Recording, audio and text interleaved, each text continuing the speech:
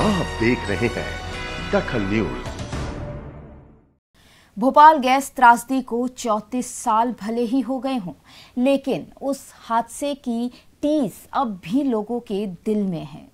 उस हादसे से मिले जख्म और दर्द कम होने का नाम ही नहीं ले रहे। सेंट्रल लाइब्रेरी में गैस त्रासदी में मारे गए लोगों के प्रति शोक सभा रखी गई। और श्रद्धांजलि दी गई। श्रद्धांजलि सभा में सभी धर्मों के गुरुओं को बुलाया गया, जिसमें सभी ने अपने धर्म के अनुसार मारे गए लोगों को श्रद्धांजलि दी। इस मौके पर collector Sudama Khade, principal secretary gas राहत गौरी सिंह, पूर्व मंत्री विश्वास सारंग सहित अन्य अधिकारी मौजूद थे। सभी धर्मगुरुओं ने भोपाल गैस त्रासदी को बुरा हादसा बताते हुए हादसे में मारे गए लोगों के प्रति संवेदना व्यक्त की और परिजनों को सहन शक्ति के लिए भगवान से कामना की। विश्वास सारंग ने भी गैस त्रासदी में मारे गए लोगों के प्रति संवेदना व्यक्त की। गैस त्रासदी में लगभग पाँच लाख सत्तर हज़ार से भी ज़्यादा लोग प्रभावित हुए थे, जिनमें लगभग सोलह हज़ार से ज़्यादा लोगों ने अपनी जान गंवा दी थी। में जो मौत के साय में सो गए, उन सभी को श्रद्धांजलि देने उपस्थित हुए थे। दो और तीन दिसंबर की वो दरमियानी रात, जिसमें मनुष्य की भौतिक विकास की गलती के कारण एक बड़ा और दुनिया का सबसे बड़ा औद्योगिक त्रासदी भोपाल में हुई। हज़ारों गैस पीड़ित छोड़ दो मौत के सो लौटा गए।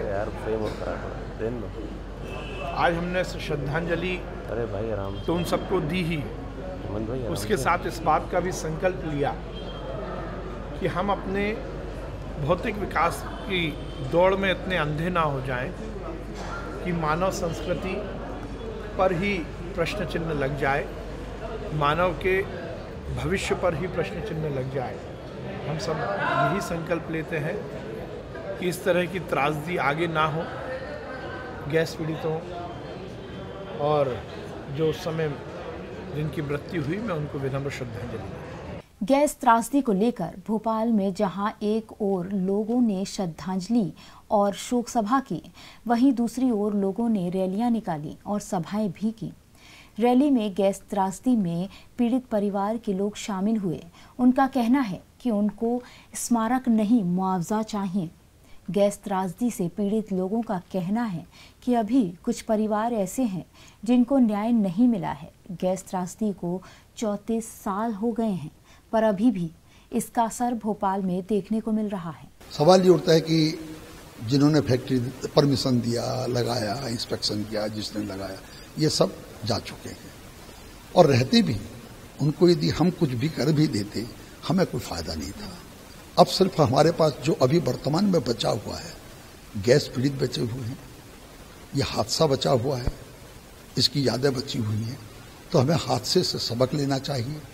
दूसरा, भविष्य में यदि इस तरह का कोई भी दूसरा हादसा होता है तो उसमें एक सबक लेके एक मैनेजमेंट सिस्टम डेवलप होना चाहिए कि सबसे पहले आदमी कौन आएगा, उसके बाद कौन आएगा, तीसरी बात कौन होगा, फिर इन आदमियों का क्या करना चाहिए ये पूरा का पूरा एक ब्लू होना चाहिए, जो कि वर्तमान में हमारे पास अभी भी नहीं है। इस वक्त हम मौजूद हैं भोपाल के यूनियन कार्बाइड प्लांट पे, जहाँ आज ही के दिन उन्नीस सौ चौरासी में गैस त्रासदी हुई थी। इस गैस त्रासदी में लगभग सोलह हज़ार लोगों की मृत्यु हो गई थी। साढ़े पाँच लाख लोग लगभग प्रभावित हुए थे। आप हमारे पीछे देख सकते हैं कि ये प्लांट वही, ये वही प्लांट है, वही जगह है जहाँ से गैस त्रासदी हुई थी। यह, यहाँ के टैंक नंबर 610 से मिथाइल आइसोसाइनाइड गैस रिलीज़ हुई थी, जो इतनी जहरीली थी कि लोगों को लगभग यहाँ की पूरी जनसंख्या को उसने प्रभावित किया था। यहाँ के कुछ लोगों ने अपनी आँखें खो दी है, कुछ लोग हैंडीकैप हो गए हैं, जो तीन हज़ार के लगभग महिलाएँ थी जो गर्भवती गर्भवती थी। कुछ के गर्भ में ही बच्चों को अपने, अपनी साँसें रोकनी पड़ी और कुछ बचे तो वो हैंडीकैप और अपनी आँखें खो दे, खो बैठे हैं। आज भी देखने को इसका आंकड़ा मिल रहा है। अगर देखें तो सोलह हज़ार लोग उस समय मृत्यु की आगोश में पहुँच गए थे। लगभग साढ़े पाँच लाख लोग यहाँ प्रभावित हुए थे। अभी हमने जब लोकल रेसिडेंस लोगों से पूछा तो उनने बताया कि यहाँ की मिट्टी में अभी भी उसका अंश बाकी है। यहाँ के तालाब के पानी में अभी भी उसका उसका अंश बाकी है। अगर वहाँ के तालाब का पानी पीते हैं तो वहाँ के तालाब का पानी इतना ख़राब है। मिथाइल आइसोसाइनाइड का अभी भी उसमें असर देखने को मिल रहा है। कैमरामैन तरुण यादव के साथ सत्यम शर्मा, दखल न्यूज़ भोपाल। गैस कांड के प्रभावितों को अब तक पूर्ण न्याय नहीं मिल पाया है।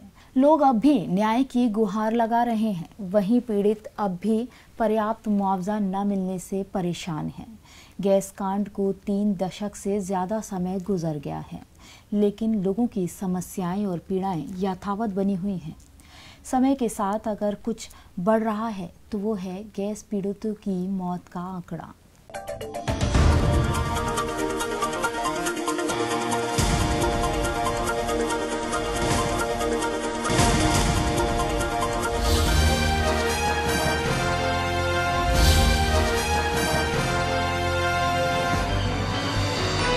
आप देख रहे हैं दखल न्यूज़।